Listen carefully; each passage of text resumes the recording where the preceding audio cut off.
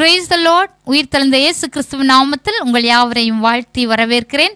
இன்றைக்கும் தியானிக்கும்படியாக தெரிந்து கொண்ட வேத பகுதி யோவான் எழுதின சுவிசேஷம் பதினொன்றாவது அதிகாரம் இருபத்தி ஐந்தாவது வசனம். இயேசு அவளை நோக்கி நானே உயிர் தெழுதலும் ஜீவனுமாயிருக்கிறேன். என்னை விசுவாசிக்கிறவன் மறித்தாலும் பிழைப்பான். நம்முடைய தேவன் உயிரோடு எழுந்த தேவன். நம்முடைய தேவன் மறித்தேன் ஆனாலும் சதா காலங்கள் உயிரோடு இருக்கிறேன் என்று சொன்னவர். ஹலலுய மரணத்தை வென்றவர். பாதாளத்தை வென்றவர். மரணத்தை ஜெயித்தவர். ஹலலூயா அருமையான தேவனுடைய ஜனமே இன்றைக்கும் இந்த வார்த்தை மார்த்தாளை நோக்கி தன்னுடைய சகோதரன் மறித்திருக்கிறான் லாசரு நான்கு நாட்கள் ஆகிவிட்டது என்று சொல்லி வேதனையோடு இருக்கிற அந்த மார்த்தாளை பார்த்து கூறுகிற வார்த்தை தான் மார்த்தாளே நானே உயிர்த்தெழுதலும் ஜீவனமாய் இருக்கிறேன். என்னை விசுவாசிக்கிறவன் மறித்தாலும் பிழைப்பான் என்று சொல்லி இந்த வார்த்தையை சொல்லுகிறார். அருமையான தேவனுடைய ஜனமே உங்களுடைய வாழ்க்கையிலும் ஒருவேளை இந்த லாசருவை போல மறித்து போயிருக்கலாம். ஓ ஹalleluya எழும்ப முடியாதபடி முன்னேற முடியாதபடி ஹாலோலி அந்த லாசருடைய சரீரத்தை எப்படி சீலைகளினால் சுற்றப்பட்டிருந்ததோ அதே போல உங்களுடைய வாழ்க்கையை வாழ்க்கையை சத்ருவானவன் ஹலலூய கட்டி வைத்திருக்கலாம். இன்றைக்கும் அவருடைய உயிர்த்தெழுந்த வல்லமை ஜீவன் அப்படிப்பட்ட காரியங்களில் உங்களுடைய வாழ்க்கையில் இறங்கி அற்புதங்களை செய்ய போகிறது. ஆமேன்.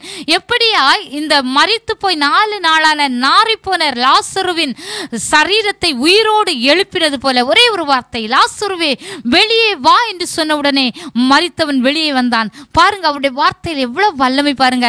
அவருடைய அந்த லாசருடைய சரீரத்தில் அவருடைய உயிர்த்தெழுதலின் ஜீவனும் அந்த இட அவனுடைய சரீரத்தில் இறங்கின உடனே அவன் மறித்து போயிருந்த அவனுடைய சரீரத்தில் ஜீவன் உண்டாயிற்று.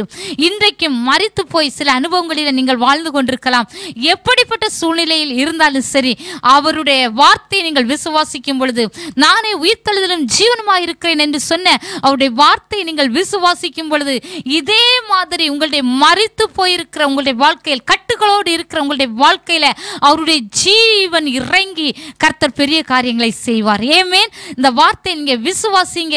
நிச்சயமாக இந்த வார்த்தை உங்களுடைய வாழ்க்கையில மகா பெரிய அற்புதங்களை உயிர்த்தெழுந்த வல்லமுள்ள இயேசு கிறிஸ்துவின் நாமத்தில் அற்புதங்களை கொண்டு வரும் என்பதில் எந்த சந்தேகமும் இல்லை. கர்த்தர் தாமே இந்த வார்த்தைகளால் உங்கள் ஒவ்வொருவரையும் ஆசீர்வதிப்பாராக. அன்பின் பரலோக பிதாவை இந்த வேளையிலும் உயிர்த்தெழுந்த உங்களுடைய வல்லமை மறித்து போயிருக்கிற உம்முடைய பிள்ளைகளுடைய வாழ்க்கையில இறங்கி அற்புதங்களை செய்யட்டும் ஜீவன் உண்டாகட்டும்.